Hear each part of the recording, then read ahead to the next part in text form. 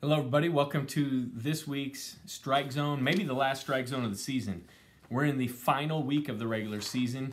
As I speak, there's a number of different conference tournaments going on, uh, a lot of contests yet to finish, and uh, this is an important update, uh, and I'll talk about that here in a second. A couple of reminders from last week's Strike Zone.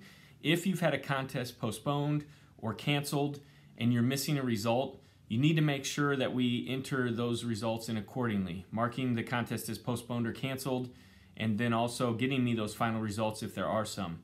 That ties me into the next segment of this week's Strike Zone. Because we're almost to District Bowling Week, which is starting on Monday, um, all the contests that are that take place through this Saturday, um, which is I should have this out. All contests through Saturday the 28th those contests will um, uh, go towards wildcard standings. And so what I'm asking everybody to do today is make sure you are looking at your individual boys team and girls team schedules. Make sure your results are accurate. Make sure um, all the contests are accounted for.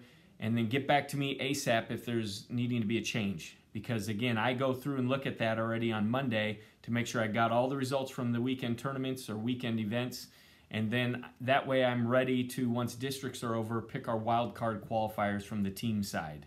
So again, make sure you're doing those things. Contact me with any questions. Question came up to me yesterday.